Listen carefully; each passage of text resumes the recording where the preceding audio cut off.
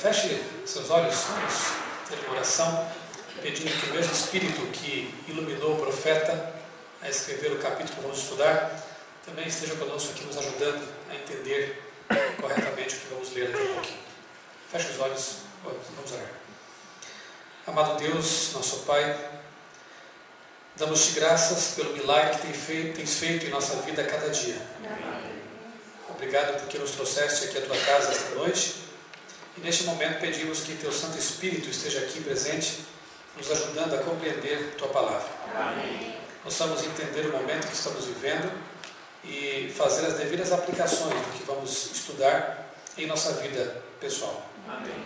Dar a sua paz, abençoa-nos a todos, em nome do Senhor Jesus. Amém. Amém. Abra sua Bíblia no capítulo 7 do livro de Daniel. Embora o capítulo 7 esteja aqui na sequência, logo após o capítulo 6, dando a impressão de que isso é cronológico, na verdade, como eu disse, o livro foi organizado em duas grandes partes. A primeira histórica e a segunda profética. Mas na verdade o capítulo 7, ele, os eventos que têm lugar aqui ocorreram antes dos capítulos 5 e 6. Olhem como começa aqui. No primeiro ano de Belsazar, então nós voltamos o tempo aqui, né?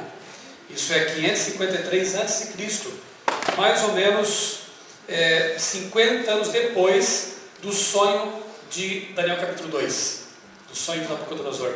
Daniel tinha aqui mais ou menos 70 anos. Nós o deixamos na semana passada com 80 anos. Agora recuamos uns, uns 10 anos do tempo. Né? É, no primeiro ano, então, do rei Belsazar, do reinado dele, é, teve Daniel na sua cama um sonho e visões da sua cabeça. Então, escreveu é, a suma, né? escreveu logo o sonho e relatou a suma das coisas. Disse Daniel: Na minha visão da noite, eu estava olhando e vi que os quatro ventos, ventos, segundo Jeremias, representam é, guerras, agitação entre as nações, não é? Ventos. Lá em Jeremias 49 isso é explicado. Os ventos, quatro ventos, agitavam o céu e o mar grande. Quatro animais grandes, diferentes uns dos outros, subiam do mar. Mar representa povos, né? isso a gente já sabe é, lá em Apocalipse 17, em outros textos da Bíblia, isso fica bem claro que mar, águas representam povos. Portanto, aqui nós vemos os povos em agitação, né? é, guerras, é, revoluções, enfim. Que animais eram esses? Verso 4.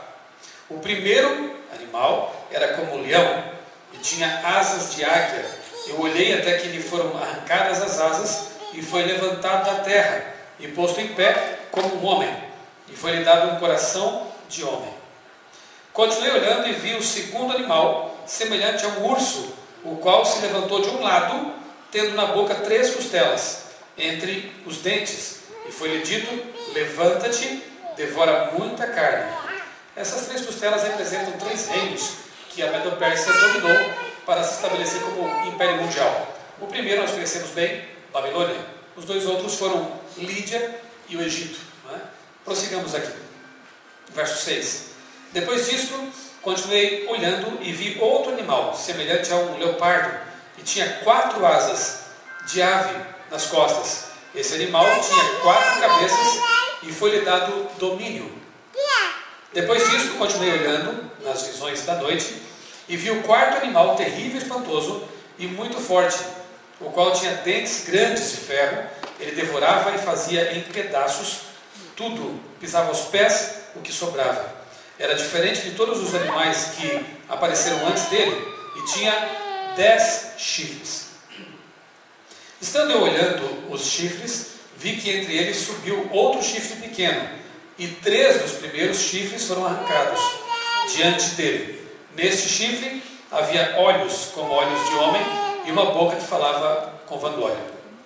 Continuei olhando até que foram postos uns tronos e um ancião de dias se assentou. Sua veste era branca como a neve, e o cabelo da sua cabeça como a lã puríssima. O seu trono era de chamas de fogo, com rodas de fogo ardente.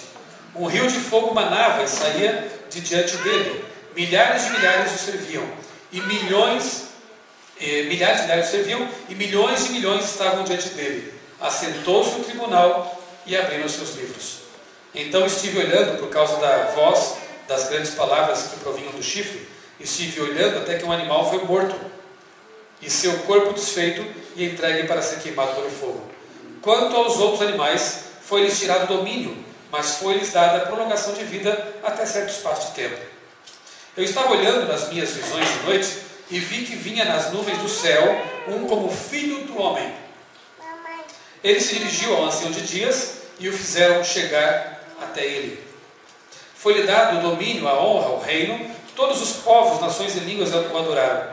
O seu domínio é um domínio eterno, que não passará, e o seu reino, o único que não será destruído. Quanto a mim, Daniel, o meu espírito foi abatido dentro do corpo, e as visões da minha cabeça me espantaram. Cheguei-me a um, a um dos anjos, né? é, que estavam perto e pedi-lhe a verdade acerca de tudo isto. Ele me disse e fez-me saber a interpretação das coisas. Estes grandes animais, que são quatro, que são quatro, são quatro reis que se levantarão da terra. Mas os santos do Altíssimo receberão o reino e possuirão o reino para todo sempre e de eternidade em eternidade. Então tive desejo de conhecer a verdade a respeito dos quatro animais, ou melhor, do quarto animal, que era diferente de todos os demais, muito terrível, cujos dentes eram de ferro e as suas unhas de bronze. O animal que devorava fazia em pedaços e pisava aos pés o que sobrava. Uma pequena pausa aqui. Note que Daniel, ele recebeu parte da interpretação da visão, mas não toda ainda.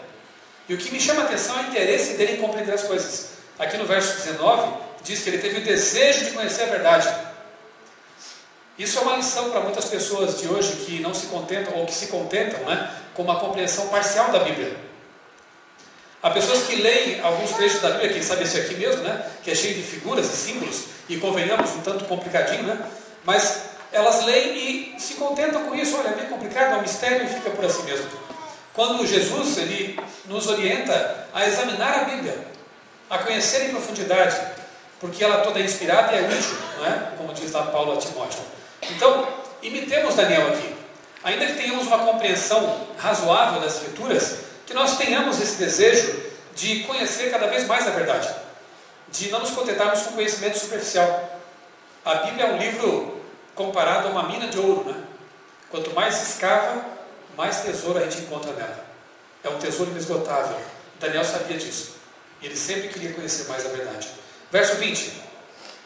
Também tive desejo de conhecer a verdade a respeito dos dez chifres. Ele quer saber mais, né?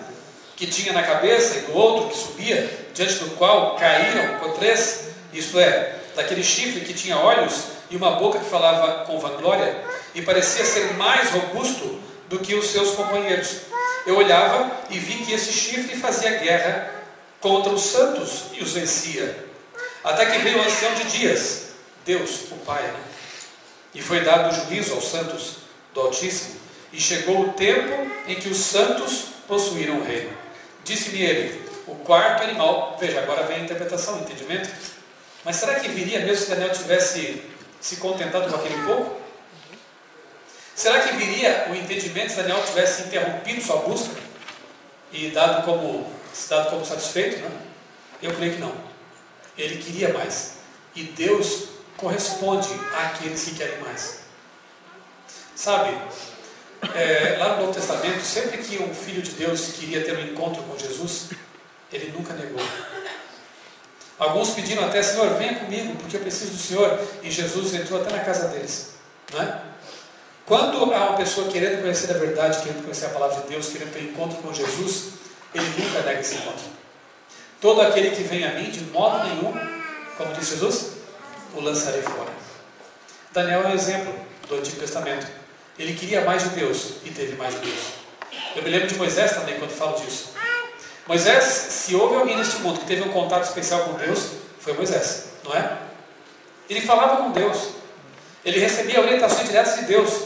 Mas uma ocasião ele fez uma pergunta tão estranha, e para, para alguns talvez até meio é, arrogante ou blasfema, não era o caso, mas ele falou assim: Senhor, posso ver-te o rosto? Olha que coisa, que audácia, ver o rosto de Deus. Mas Deus é muito bom.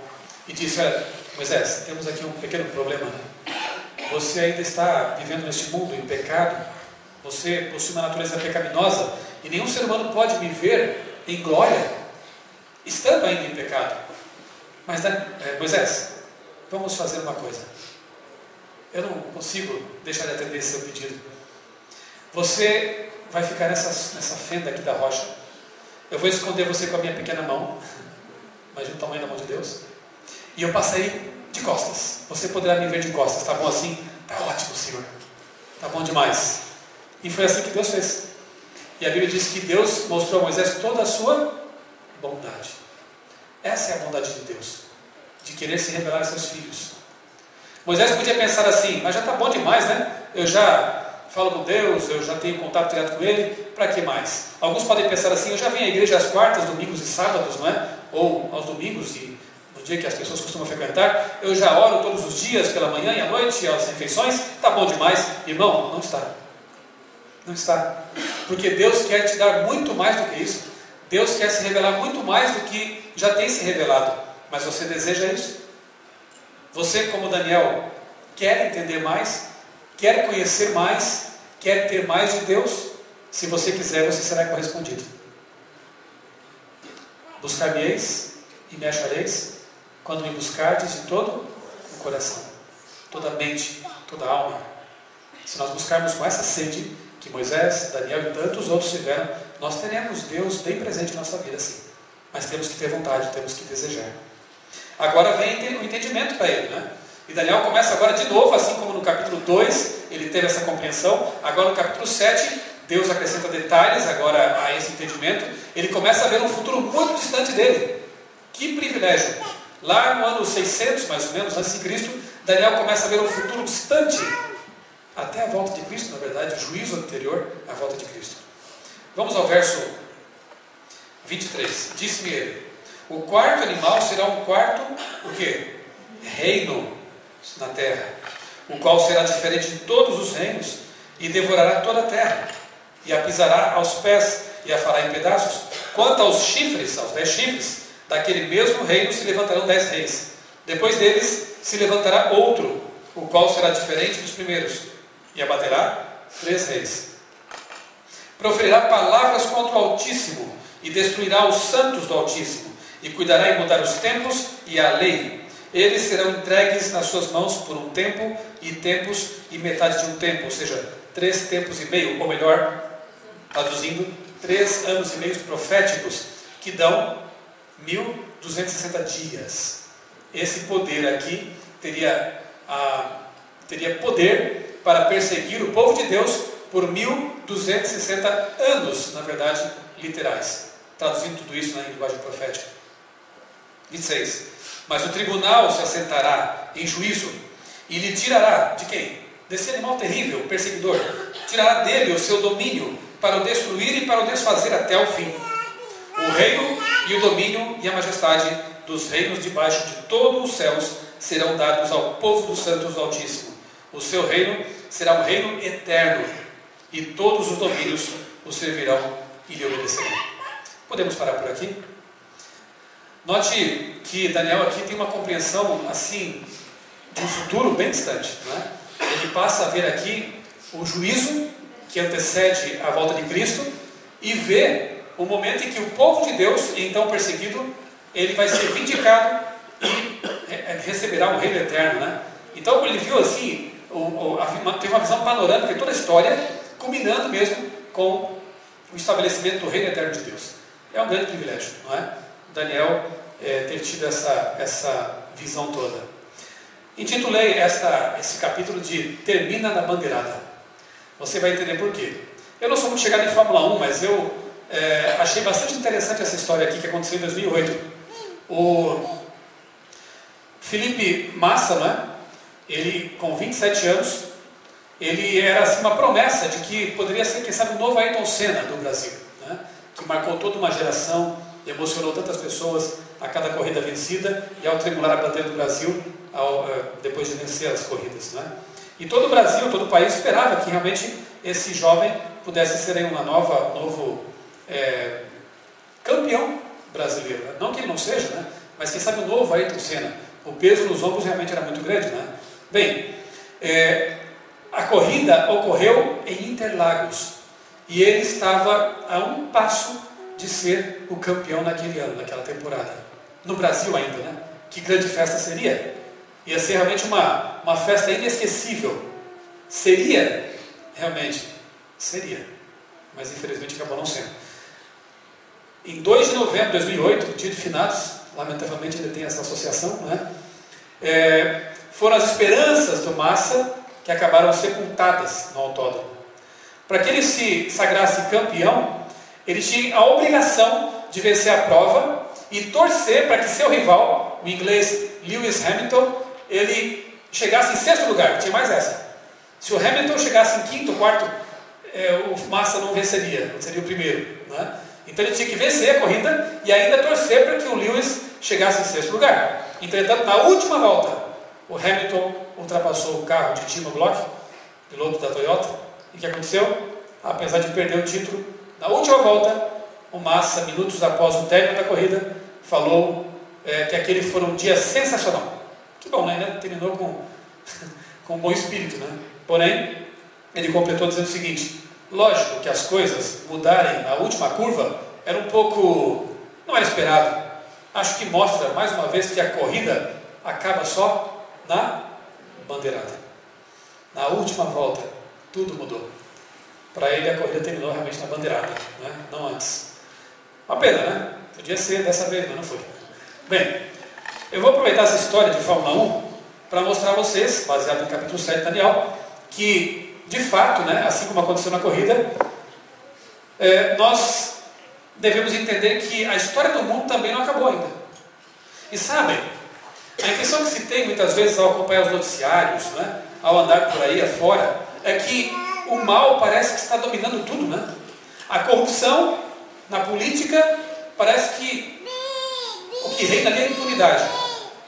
Os grandes poderosos que foram eleitos para representar o povo estão lá se beneficiando dos recursos públicos, né? estão ali se beneficiando de influências que eles têm, que eles têm em benefício próprio. E a corrupção corre deslavada terrível mau exemplo para a população. Né? É, também vemos aí que a violência familiar toma conta do mundo. Né? Maridos que espancam mulheres. O contrário também, curiosamente, acontece. Né? Filhos sendo espancados, sendo abusados. Não, é? não era plano de Deus que isso acontecesse. Jamais. Mas o que a gente vê é que cada vez mais esse tipo de notícia triste ocupa os jornais e toma conta aí da mídia. Né? Uma pena. E dá a impressão de que o mal realmente está dominando o mundo. Vemos também a imoralidade tomando conta né, dos programas de TV, dos portais de internet. Né? É, hoje, crianças tendo acesso a um mundo de corrupção, de, de imundície terrível, a apenas um clique de distância. Né? A coisa está ficando cada vez mais complicada, mais feia. Né? E dá a impressão realmente de que é, o mal vem dominando. Só que é o seguinte, irmãos: não nos esqueçamos de que nesse conflito entre o bem e o mal, embora pareça que o mal está dominando, a última bandeirada não foi dada ainda. Estamos no meio da corrida, não é? Então tudo nos leva a crer que a vitória do mal está assegurada, porém, temos que parar um pouco e esperar que cheguemos até a última bandeirada, a última volta, porque certamente, como Daniel viu, haverá uma feliz reviravolta. A semelhança do que aconteceu em 2008, na temporada de Fórmula 1, o triunfo do bem, que foi alcançado na cruz do Calvário de modo muito especial, né? o triunfo do bem será visível para todos na última prova, na última bandeirada, na última etapa da visão tida por Daniel. É isso que nós esperamos. Né? Daniel 7 confirma então essa verdade. É, e para que tenhamos certeza de que Deus está no controle absoluto da história, o Espírito Santo nos deixou a profecia de Daniel sete, entre outras mais. A profecia é como uma luz no fim do túnel, para fazer com que nós não olhemos apenas as circunstâncias em volta, que são desesperadoras, que são desalentadoras, que nos trazem muita tristeza. Mas a profecia aponta para o fim do túnel e diz: aquela luz lá não é um trem de sentido contrário, tá? É, é Jesus que vem. Ele vem para resgatar você. É para isso que serve a profecia. Ela nos dá um vislumbre da esperança que vem para que nós não fiquemos desapontados demais com o que está acontecendo agora, porque realmente é desalentador, não é? Bem, no capítulo 2, já estudamos isso, Daniel ora para compreender o sonho do rei. No capítulo 7, o próprio Daniel tem agora uma visão, uma compreensão. Né? Na presença do rei, você lembra? Ele apresentou um pacote completo, o sonho mais a interpretação. Estão recordados do que ele viu ali, o rei? Uma estátua, né? Composta por vários metais. Me ajude a recordar. Cabeça de ouro. Representava quem? Babilônia. É, peito e braços de prata, representando Medos e persas, dois braços. Né? É, ventre e coxa de cobre ou bronze, representando Grécia. Pernas de ferro, representando Roma. Os pés, uma mistura estranha de barro e ferro, representando com seus dez dedos o quê? A fragmentação da Europa e a formação dos dez reinos, né? Que compuseram ali a Europa e que hoje ainda existem, muitos dos quais ainda existem na moderna Europa. Né? E em seguida vemos vindo do céu, vinda do céu, sem que mãos humanas interviessem, o que? Uma pedra, uma rocha, que é um símbolo claro da pedra angular, que é Jesus. O reino de Cristo, ele atinge a estátua nos pés e faz com que todos os metais sejam esmiuçados. E aquela pedra acaba sendo o reino eterno que vai é, governar a Terra para todo sempre, né, o universo. É bem clara essa visão, não tem nem o que a gente pensar muito, interpretar, porque o próprio Daniel interpreta essa, esse sonho. Agora no capítulo 2, nós vemos praticamente a mesma sucessão, a mesma sucessão de reinos, a mesma história, porém com símbolos diferentes. Você lembra quais eram, ou quais são, os que nós vimos ali no capítulo 7? Note, em Daniel 7, o primeiro animal é um leão. O leão, interessante, né? O, rei, o leão é o rei das selvas. É dito assim, né? O ouro é o rei dos metais, né? Curiosamente. Então, o leão tinha duas asas que representam o reino da Babilônia. Inclusive, nas ruínas de Babilônia, você vê nos portais, né? nas construções, nas paredes, leões alados. Era um símbolo muito comum também naquele tempo mesmo, né? adequadíssimo para representar Babilônia. Em seguida, nós vemos então um urso manco, não é? um urso que se levanta de um lado, um lado mais alto do que o outro. De fato, um dos reinos da Média, Média Persa né? era mais forte que o outro, até isso a profecia precisa. Né? Os, os persas que vieram por último, no entanto, se tornaram mais fortes do que os médios. Esse urso é equivalente a parte de prata da estátua. Então, ouro, leão, urso, prata. Né? Dois braços, dois lados.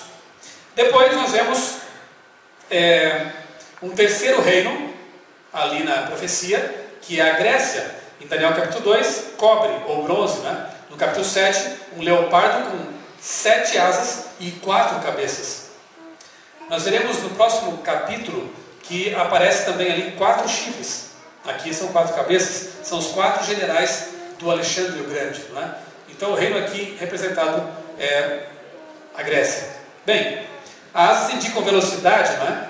e Alexandre foi muito rápido mesmo em suas conquistas. Com 30 anos apenas, ele já era senhor do mundo, conquistou todo aquele mundo de, conhecido de então, não é? Foi muito rápido. As quatro cabeças, como eu disse, as divisões do império após a morte de Alexandre seus, entre seus quatro generais, Lisímaco, Cassandro, Ptolomeu e Seleu. Finalmente, nós temos então Roma, que na estátua eram as pernas de ferro, mas aqui nós vemos então um animal terrível e espantoso, com dentes também de metal, ferro. Né? Pernas de ferro, dentes de ferro. Está claro até aqui? Mudaram apenas os símbolos. A visão é praticamente a mesma. Aqui estão então as equivalências, né? Babilônia, Babilônia. Medo-Persa, Medo-Persa. Grécia, Grécia. Roma, Roma. Porém, Deus não ia dar a mesma visão apenas para acrescentar, acrescentar ou para apenas modificar os símbolos. Você percebe que Daniel tem uma gradação lógica, muito didática. Em cada visão adicional, Deus acrescenta também detalhes adicionais. E aqui não é diferente, nós vemos chifres, não é? E o foco em Daniel 7 acaba sendo a perseguição contra o povo de Deus. Você nota que o ápice, o auge do capítulo é justamente quando o povo de Deus passa a ser perseguido. E onde está Deus? O que acontece? O povo de Deus é massacrado por esse poder terrível que aparece no fim da visão. E onde está Deus?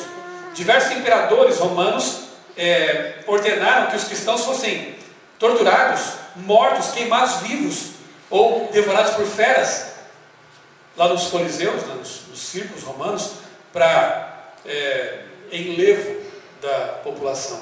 Lamentável, triste demais isso, né?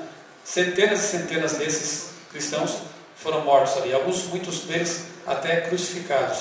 Bem, geralmente a mais sangrenta perseguição é tida como a de Diocleciano, que foi dos anos 303 a 313, citada como as mais drásticas, e possivelmente aquela do Apocalipse que diz que haverá uma perseguição de 10 dias ou 10 anos. Né? Foi realmente um período terrível, e certamente Daniel ficou espantado com isso. O que vai acontecer? O poder romano representaria uma segunda fase, né? representaria uma segunda fase. Por isso que o quarto animal terrível, não sei se você percebeu isso, ele se subdivide em 10 reinos, ou 10 chifres. Tem um animal terrível, espantoso, mas dele você percebe, percebe que há ali nele 10 chifres. 10 dedos na estátua também, né? interessante isso. A divisão que se seguiu ao território romano, então, foi a mesma prefigurada por Daniel lá em 2, barro e ferro, né? Aqui então mostra a divisão por meio dos chifres, né? Também traz origem aí, traz a existência à Europa moderna. Muito bem. Nessa época então surgiria um novo poder, reunindo a mesma autoridade política do Império Romano, com acréscimo da autoridade, agora tem um detalhe adicional, religiosa. Isso é interessante, por quê? Porque esse poder, ele se intromete em questões que o Império Romano não havia é, nas quais o Império Romano não havia se intrometido. Muda a lei de Deus. Muda os tempos que Deus estabelecera. Então esse poder representa a fase imperial, mas também uma outra fase, uma fase religiosa. Então note que Daniel viu também uma ponta, um chifre pequeno, que iria. Note agora os detalhes, para ver se você distingue ou descobre quem é esse poder. Primeiro, esse poder iria falar contra Deus, ou seja, blasfemar. Tinha uma boca que procedia blasfêmias. Blasfêmia é a atitude de querer se colocar no lugar de Deus, assumir prerrogativas que só Deus tem, sendo esse poder humano. Perdoar pecados, estabelecer doutrinas que não são bíblicas, colocar no lugar de Deus, no lugar de Jesus, outros mediadores, usurpar o sacrifício de Cristo e dizer que esse sistema pode perdoar pecados, tudo isso é blasfêmia. É blasfêmia porque só Deus pode fazer essas coisas. Né? Segundo ponto, iria perseguir os cristãos fiéis aos princípios da fé evangélica. Fez isso? Estude um pouquinho sobre a Inquisição. Né? Você vai ver que a perseguição promovida por Roma Imperial é, acabou sendo também tão ou mais cruenta durante os tempos da Inquisição, por um poder religioso. Terceiro ponto, iria mudar o único mandamento que trata de um tempo específico, mudaria os tempos. Qual o mandamento que trata de um tempo específico? Um tempo, sábado. Lembra-te do dia do sábado para santificar. Seis dias trabalharás e farás toda a tua obra. Mas o sétimo dia é o sábado do Senhor teu Deus. Que mandamento segue, não é? Não farás nenhum trabalho em tu, nem teu filho, nem tua filha, nem teu servo. Não é?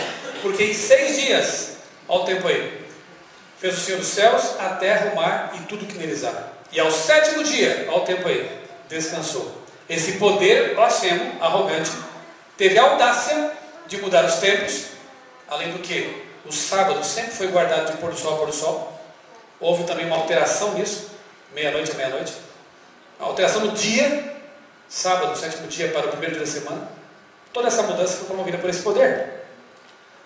E, e em último lugar, iria perseguir o povo cristão por quanto tempo? Um tempo, dois tempos, metade de um tempo, três anos e meio. Que, trocando em miúdos, na verdade equivale a 1260 anos.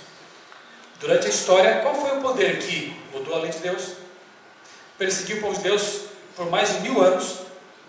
Aqueles que se opuseram a essa religião oficial foram perseguidos mortos também, torturados. Né? Que poder é, recebeu de Roma a sua autoridade, porque também se chama romano, e estava lá entronizado. E além disso, está sediado na Europa, porque o que fala da Europa, né? Os dez chifres e a sucessão do Império Romano. Não é difícil, né? Descobrir isso. Bem, com uma descrição tão completa assim, nós realmente entendemos que esse poder que nasce no contexto europeu só pode ser realmente essa ponta pequena, esse chifre pequeno, um símbolo da igreja romana naquele momento da história. Não é? Herdeira da autoridade do Império Romano, bem como de seu ódio pelos cristãos que tinham apenas na Bíblia sua fonte de autoridade espiritual. Enquanto, de um lado, um sistema religioso pregava as tradições e o poder dos é, prelados, das autoridades eclesiásticas para interpretar a Bíblia, do outro, um povo dizia só a Bíblia, sola fide, sola escritura e tota escritura, que são os, é, são os princípios da reforma. Somente a Bíblia, a Bíblia totalmente e só pela fé somos salvos. Era essa a oposição que havia. E por isso o povo de Deus foi perseguido. Por esse poder aí, representado pela chifre, pela ponta pequena. Aparentemente o mal triunfou, na é verdade? Imagine os cristãos sendo perseguidos por mais de mil anos. O que estavam pensando? Quando Deus vai se levantar em nosso favor? A história termina na bandeirada final, não esqueça disso. Né? Não podemos esquecer disso.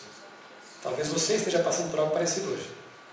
Achando que Deus esqueceu de você, achando que as circunstâncias estão escuras ao seu redor e você talvez não veja nem a luz do fim do túnel. Não esqueça que a corrida só termina na última bandeirada. Tá? É, ninguém vence até ser dada a bandeirada final. Deus deu um basta nos abusos satânicos para refrear o mal e garantir a recompensa dos filhos do reino. Foi instalado um tribunal. Agora você vê Deus agindo. Ele viu o ancião de dias, não viu? E viu Jesus caminhando nas nuvens até o ancião de dias. Estava posto no tribunal. Abriram-se os livros, cena de juízo, não é? julgamento, e apenas uma aproximação do que pode ser realmente o que Daniel viu, né? mas ele viu então o ancião de dias, cabelos é, brancos como a alva lã, olhos de, de, de, fogo, não é? e ali os livros abertos com os relatos né?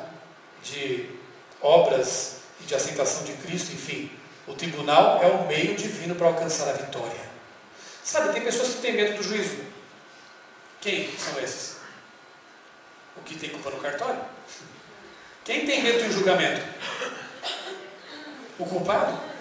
Porque ele vai ser condenado? Se for um julgamento justo? Agora, quem não tem medo no julgamento? O inocente? Porque ele vai ser vindicado diante de todos. Quem é inocente nesse mundo? Ninguém. Mas quem pode ser inocente nesse mundo? Todos. Que paradoxo é esse? Cristo é o inocente que morreu pelos pecadores. Se você aceita Jesus como seu Salvador, se você aceita o sangue lavador de Cristo em sua vida, você é tido por inocente. Isso se chama justificação. Se você aceitou Jesus como Salvador, você não precisa ter medo, não deve ter medo do juízo. Porque assim como aqui em Daniel o juízo representava a vindicação dos salvos, representava a vitória final, para nós também tem que ter significado. O juízo de Deus, como Apocalipse 14 prevê, né? vinda é a hora do seu juízo, para nós é boa nova, para nós é uma proclamação de alegria, porque a nossa dor vai passar, o nosso sofrimento, a perseguição, a humilhação por sermos cristãos, tudo isso ficará no passado. Nós seremos vindicados por Deus. O juízo representa isso para nós. Portanto, por que ter medo do juízo? Não, não precisamos nos desesperar em face da violência, imoralidade, da impunidade das guerras, de tudo que há de mal nesse mundo. Jesus, que se assentou em seu tribunal diante do Pai, o ancião de dias, Jesus vai completar o julgamento e virá em seguida nos buscar. A sentença será dada, inocentes, pelo sangue de Cristo. Após isso, não tem mais por que esse mundo perdurar. Ele vem nos resgatar. A última bandeirada. Ele tem nos reservado um reino eterno. Ali o mal será menos do que uma lembrança de um competidor vencido na última volta. Satanás pensa que está vencendo, mas ele sabe que está perdido. Embora esteja correndo o máximo que ele pode, ele sabe que no fim das contas ele está, estará com o seu destino selado. E já está. Então é apenas um perdedor que pensa ou dá a impressão para quem está correndo junto que está vencendo. Mas no fim, na última volta, ele realmente perderá e graças a Deus, nós, o povo de Deus, venceremos. Amém. Sabe, no último verão, eu estava viajando com minha família lá para o sul. Íamos visitar nossos parentes. Nosso carro estava mais ou menos assim, viu? o porta-malas dele. Quando nós estávamos ali por, perto de Itapeva, indo para o sul, né? É, já contei a história aqui para algumas pessoas. O policial nos parou e disse o seguinte, ali quando eu baixei o vidro: o nosso radar inteligente detectou que você está com um problema aí. Mas, o quê? Estava tudo certinho, né? Eu tinha feito a revisão do carro, né? meu documento estava em dia, fiquei todo feliz que eu pensei em puxar minha carteira de motorista, estava tudo certinho. Disse, não, é, não tem nada a ver com o seu documento, é o do carro. O seu licenciamento está vencido. Vocês imaginam o que é numa antivéspera de Natal? Você com a esposa, três filhos, a Laila, nossa cachorrinha, e tudo isso aqui de mala dentro do carro, ouvir isso, o licenciamento está vencido. Você tem duas opções. Nenhuma delas era boa. Volte para Tatuí, deixe o carro aqui, vai ser apreendido. Vocês vão de ônibus para Tatuí. Mas peraí, qual é a segunda opção? A segunda opção é a seguinte: você pode entrar na cidade aqui e tentar fazer o licenciamento, mas era antes do Natal. E a gente sabe que isso aí leva, leva dias. É? É, antes disso, um pouco, antes dessa sentença do guarda, ele foi até a viatura dele e voltou. Quando ele voltou, minha filha estava chorando um monte, a Marcela. Chorando, chorando, chorando, graças a Deus por isso. Ele olhou para ela chorando assim e ele se condoeu. E ele disse: Olha, é, a segunda opção foi dada porque ela chorou. Ele assim, é, mexeu com o meu coração. Então vocês entram, eu vou escutar vocês, entrem aqui na cidade e tentem alguma coisa. Se não der certo, volte para casa. Eu não aconselho vocês a irem para o Paraná nessas condições. Eu não vou prender mais o carro. Ufa, pelo menos. Entramos em Itapeva. Detalhe, era aniversário da Débora. Nesse dia também. Faz aniversário dia 23 de dezembro. Eu pensei, tudo isso num dia, Senhor. É, aniversário dela, a gente pensava em almoçar em um lugar gostoso, agradável, né? tudo certinho, chegar, saímos bem cedinho para chegar no fim da tarde na casa dos meus, meus é, sogros, né? Para ali teríamos um, uma surpresinha para ela. Minha sogra preparou um bolinho e tudo mais. E ali naquela situação. Eu havia esquecido de pagar o licenciamento. Só isso. Esse detalhe. O despachante não tinha me ligado, costumava me ligar para avisar, ó, está vencendo. naquele ano, esqueci. Fomos à cidade, fui até o é, banco para pagar uma taxa, peguei fila e o tempo passando. Voltei ao Ciretran, começava a chover. Pegamos guarda-chuva, ficam os três filhos no copo, quase assim, né? Para sensibilizar lá as pessoas, né? E aí chegou uma família com os olhos é, implorando por ajuda. Falamos com o senhor que cuidava da, ali do Ciretran. E ele falou: olha, é véspera de Natal praticamente, complicado, né? Há uma fila de documentos aqui para serem, é, para receber o licenciamento. Olhou para minhas filhas, para a gente. Mas espera um pouco, vou ver o que eu posso fazer. Ele entrou numa salinha, demorou uns 5, 10 minutos, voltou. Está aqui o documento para vocês. Esses aqui não esperar nada mesmo, porque já é né, Natal, já sabe que não ia sair documento. Então, pegue o seu documento, siga a viagem. Nós é, fomos até um restaurante, achei um bom lugarzinho ali para almoçar com a Débora, né, para ainda tentar recuperar aquela situação toda. Né? Perdemos mais de três horas na nossa viagem. E eu só pedi a Deus assim, oração, Senhor, dá-me paciência. Me ajuda a não perder aqui, né, para ficar pior, já pensou? O pai aqui agora nervoso, né, impaciente, né? Me ajuda a ficar tranquilo. Deus me ajudou bastante, graças a Deus. E chovia muito aquele dia ainda para ajudar, né? Bom, seguimos viagem. Três horas e pouca de atraso. Passamos no Paraná. Quando chegamos em Santa Catarina, é, já perto do fim da nossa viagem, o telefone toca, o celular. Era minha irmã mais nova que estava viajando também de Votuporanga para Santa Catarina. O telefone tocou e ela pediu ajuda, porque o carro deles havia quebrado. Ela ligou e falou: Mano, onde é que você está? Disse: Onde é que vocês estão? Nós estamos aqui em Itajaí com o carro quebrado. Ela estava com o esposo e o filhinho de poucos anos. quatro anos. Já estava nervoso, menininho, chorando também, carro quebrado, não conseguia resolver a situação. Onde é que vocês estão? Em Itajaí. Eu estava passando, sabe onde? Por Itajaí. Naquele momento tudo fez sentido. Nós encontramos minha irmã ali, meu cunhado, pudemos prestar auxílio. Liguei para o meu sogro, ele veio buscá-los. Né? Ficou só meu cunhado para resolver o assunto do carro. Minha irmã e meu sobrinho foram para casa é, em segurança. Seguimos viagem felizes, porque percebemos que Deus, mesmo em meio às dificuldades, estava cuidando de tudo. Estava dirigindo todas as coisas. Atrasamos um pouco a viagem? Sim, mas o que, que tem? Né? O que, que tem isso? Sentimos a certeza de que Deus estava nos conduzindo. Você pode estar passando esse momento por uma dificuldade muito forte, alguma desilusão. O túnel pode estar escuro, mas não se esqueça: Deus conduz a sua vida, se você quiser. A bandeirada não foi ainda dada. Não chegamos ainda à última curva que precede a linha de chegada. Estamos bem pertinho dela. Mas não se esqueça, ainda que esteja difícil viver, ainda que as circunstâncias estejam muito difíceis em sua vida, a última bandeirada não foi dada. Quando ela for dada, você vai entender tudo. Você vai compreender os porquês da vida. E você vai louvar a Deus pela maneira como Ele conduziu sua vida. Eu tenho certeza disso. Você dirá, Senhor, obrigado por tudo que aconteceu comigo. Obrigado por cada momento de dificuldade, por cada cova de leão, por cada fornalha, porque eu percebi nesse momento que tu estavas comigo, me ensinando alguma lição, ou usando minha experiência para ajudar outras pessoas. O nosso atraso naquela, naquele dia, que parecia tão terrível, ajudou uma família. E foi tão bom saber disso. E ainda assim tivemos uma viagem tranquila. Deus, quando está presente em sua vida, faz a diferença. Eu vou chamar a Karine aqui para cantar mais uma música.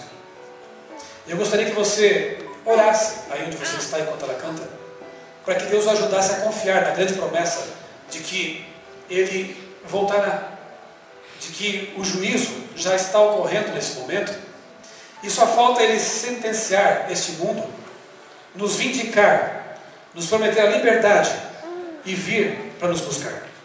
Falta muito pouco, irmãos.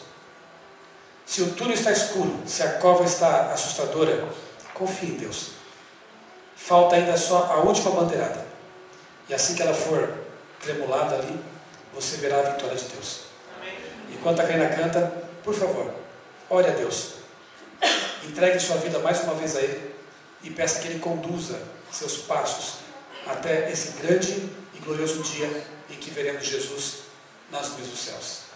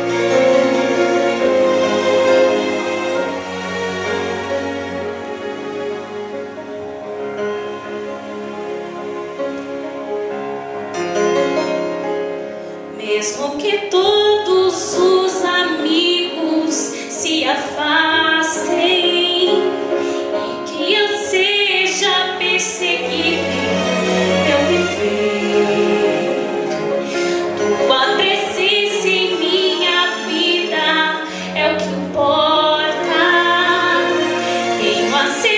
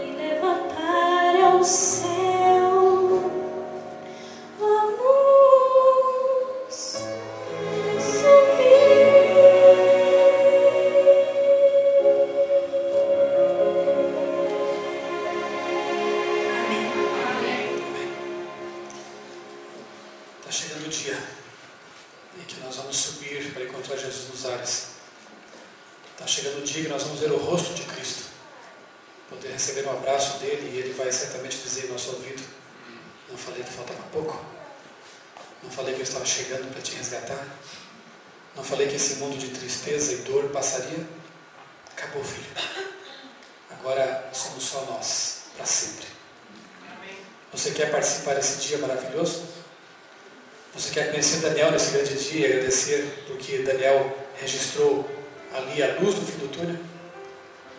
Porque ele registrou profecias que mostram que podemos ter esperança, mesmo em meio às tristezas deste mundo? Quantos querem estar preparados para esse grande dia? Amém. Deus seja louvado por isso. Amém. Vamos levantar a oração.